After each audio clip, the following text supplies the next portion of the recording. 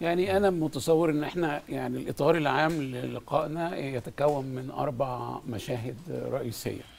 المشهد الأول اللي إحنا انتهينا بيه في آخر قبل أسبوعين آه إنه في حاجة جوهرية بتتغير في العالم مع نشوب ربما أول وأهم أزمة سياسية في النظام الدولي بعد انتهاء الحرب البارده وإنها طرحت نفسها بشكلين الشكل الأول شكل تاريخي وهو أن النظام الدولي يتغير دائما بشكل جوهري عندما يحدث خلل في توازن القوى في العالم.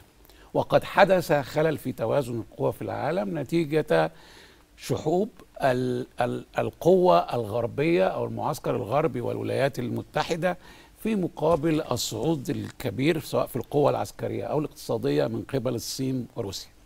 ده يعني منحى تاريخي للنظر للأزمة الثاني ذات طبيعة عملية بحتة إن إحنا ناقشنا إنه حصل تعبئة على الحدود الأوكرانية وإنه هذه الحدود كان التعبئة العسكرية كان رد الغرب هو أننا سوف نعاقبكم اقتصاديا لو حدث ذلك. وطبعا كان في ذهن الرئيس بوتين ما حدث في 2014 لما كان موضوع جورجيا. إيه إنه كان في عقوبات اقتصادية فعلا.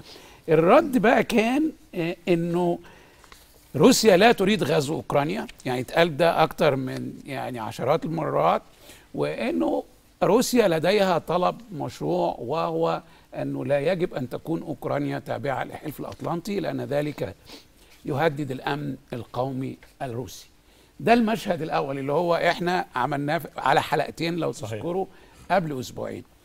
المشهد الثاني هو التصعيد، كيف تمت عملية التصعيد خلال هذه الفترة. يعني حدث والنهاردة إحنا في اليوم الرابع لعملية غزو متكاملة لدولة اللي هي أوكرانيا من قبل دولة أخرى قوية لصيقة اللي هي روسيا وبدأ الغرب بالفعل تنفيذ بشكل تدريجي العقوبات الاقتصادية على روسيا. على على روسيا. بمعنى أن الحلقة التي وعد بها قد تمت. إنما كما قلنا أنه لن تحدث حرب مباشرة بين الغرب وروسيا. وإنما لدينا حتى الآن المعركة هي روسيا وأوكرانيا.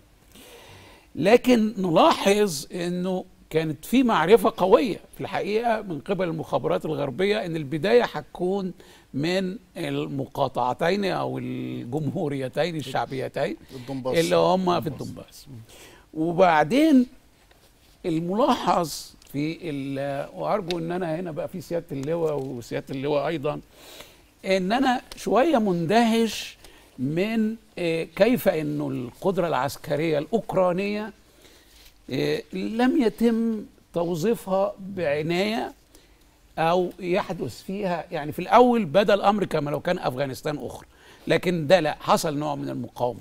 لكن أنا لا أرى لا أرب جهات ولا حرب مدن ولا استخدام لمالوتكا ضد الدبابات ولا استخدام الصواريخ ضد الطائرات إلا نماذج صغيرة بمعنى هنا إنه صحيح ال ال ال اللي درسوا الوضع قالوا أدي القوة العسكرية الروسية وأدي القوة العسكرية الأوكرانية وهي زي ما بيقولوا قوة اوفر روسيه إنما لما يجي 175 ألف يبقوا على أرض أوكرانيا توازن القوى ما هواش بالسوق اللي عليه المقارنة العامة. دي ملاحظة تانية. إنما يبدو لي وهذا يبدو إنه النتيجة سوف تكون عكس ما يريده بوتين.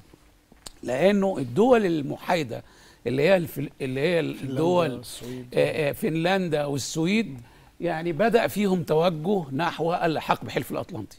فالنتيجة إنه حلف الأطلنطي سوف يكون محيطا أكثر بروسيا. يضيق الخناق. وبالمناسبة أنا بقول روسيا دايما كان الحلف الأطلنطي حواليها سواء في دول البلطيق أو حتى لو عدينا الناحية الثانية قدام فلاديفستوك فين؟ اليابان. اليابان بينها وبين أمريكا معاهدة عسكرية زيها زي الحلف الأطلنطي بالظبط. نوصل للمشهد الثالث اللي هو التقييمات التي جرت كثيرا بعضها جاء في المقدمة إنه يعني ابتدت نوع كده إشمعنى؟ يعني كلام إنه أنتوا روسيا دلوقتي الناس زعلانه ليه إنها بتخش أوكرانيا؟